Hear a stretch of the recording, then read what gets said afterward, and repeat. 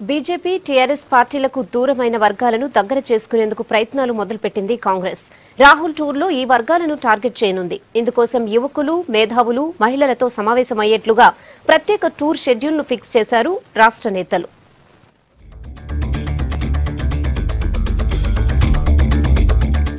AICC అధ్యక్షుడు రాహుల్ గాంధీ రాష్ట్ర పర్యటనకు భారీ ఏర్పాట్లు చేస్తోంది స్టేట్ కాంగ్రెస్. ఈ నెల పదమూడు పద్నాలుగు తేదీల్లో రాష్ట్రానికి వస్తుండటంతో టూర్లో భాగంగా మహిళలు విద్యార్థులు ముస్లింలు మేధావులు వంటి వర్గాలను తమ వైపు తిప్పుకునే ప్రయత్నాల్ని మొదలుపెట్టింది. ఇందులో భాగంగా వ్యూహాత్మకంగా టూర్ షెడ్యూల్ ఖరారు చేశారు రాష్ట్ర నేతలు.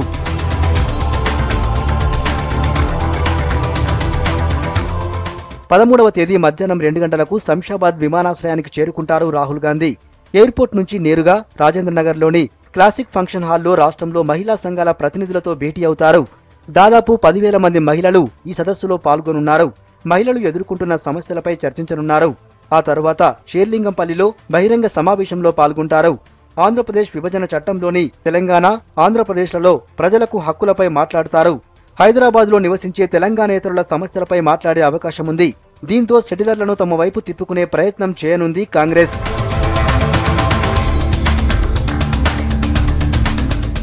ముస్లిం మేధావులతో సమావేశం కావటంతో పాటు పాత నగరంలోని పలు ప్రాంతాలలో రాహుల్ గాంధీ పర్యటించనున్నారు. బీజేపీ అధికారంలోకి వచ్చిన తర్వాత ముస్లింలపైన దాడులు రాష్ట్రంలో ముస్లింలకు పన్నెండు శాతం రిజర్వేషన్ కల్పిస్తామన్న టీఆర్ఎస్ హామీపై కూడా వారితో చర్చించే అవకాశం ఉంది.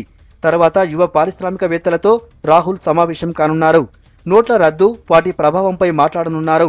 అక్కడి నుంచి ఓయూకు వెళ్ళనున్న రాహుల్ యువకులు విద్యార్థులు నిరుద్యోగులతో వర్సిటీలో సమావేశమవుతారు.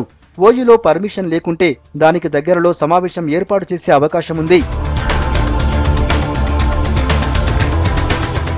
రాహుల్ టూర్తో కాంగ్రెస్ అన్ని వర్గాల వారికి దగ్గరయ్యేందుకు ప్రయత్నం చేస్తోంది.